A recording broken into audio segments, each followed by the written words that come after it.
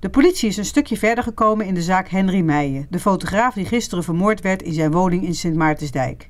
Twee getuigen die hebben vlak na, uh, na de moord hebben ze twee één of meerdere mensen uit de woning zien lopen.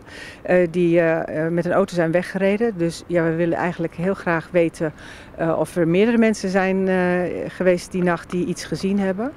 Uh, wat we ook geconstateed hebben is dat de auto van het slachtoffer is verdwenen. Dat is een uh, rode uh, Renault Espace met het kenteken 27LJSG.